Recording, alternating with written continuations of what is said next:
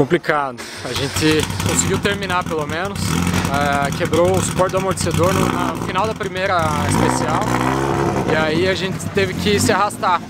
A gente optou por se arrastar para chegar aqui, para consertar, ao invés de abandonar. A gente pensou em abandonar, mas pelo menos a gente conseguiu chegar aqui. Vamos até o final para tentar marcar uns pontinhos aí hoje.